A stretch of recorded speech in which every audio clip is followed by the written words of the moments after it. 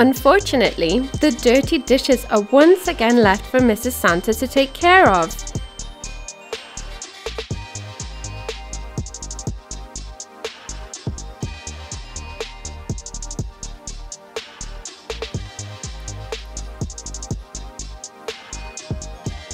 As she washes the slotted ladle, she makes an interesting discovery.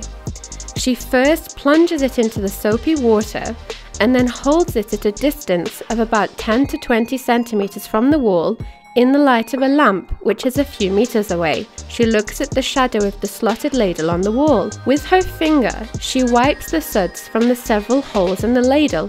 What does she see? A. The light spots shining through the ladle holes with soapy film are larger than those without soapy film. B. The light spots shining through the ladles without soapy film are larger than those with soapy film.